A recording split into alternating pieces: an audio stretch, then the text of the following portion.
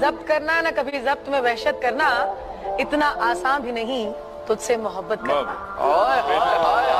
तुझसे कहने की कोई बात ना करना तुझसे कुंजे तन्हाई में बस खुद को मलामत करना।